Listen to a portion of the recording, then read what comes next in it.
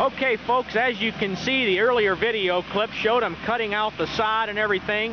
And now if you look, you can see the sod's been removed. And we're going to be putting in the base across the culvert pipe and getting the actual entire base down for the entrance into the building. Boy, we're excited about our expansion here in the Sam Lefty Bay. We really feel this is going to make uh, the customer more money and save money for, for us and therefore put money in the investor's pocket.